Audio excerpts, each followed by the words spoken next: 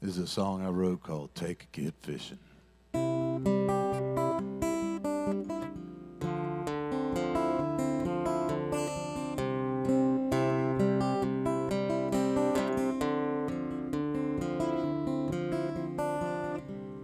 Leaky old John boat half full of water, renegade crickets, cans and bobbers, three dollar rooster tail caught on a limb, three dollars I ain't never gonna see again. Third one lost in a half an hour, then got caught in an April shower.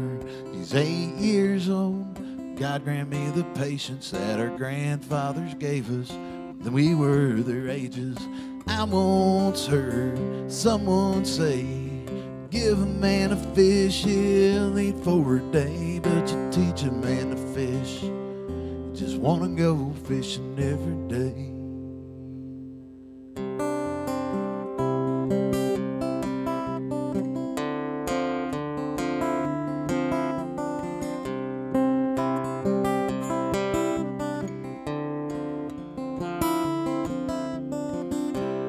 Cast by that stump and you might get a bite. Make sure to hold your mouth just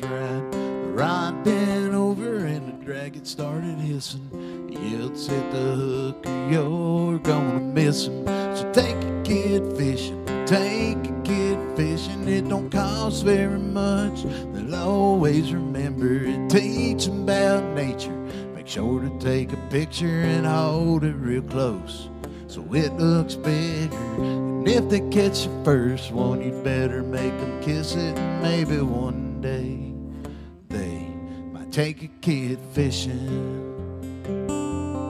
Take a kid fishing.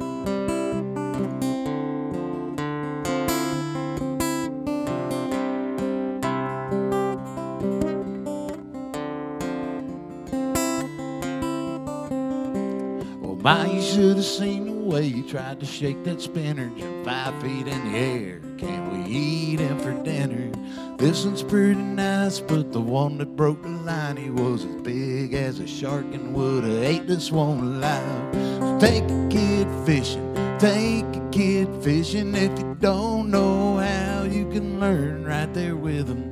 It ain't about how many or who got the big one, but treating them right and all the time that you're spending. It's a beautiful day.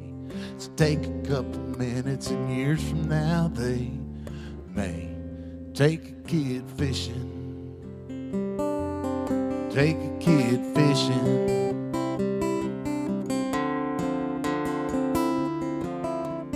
Take a kid fishing.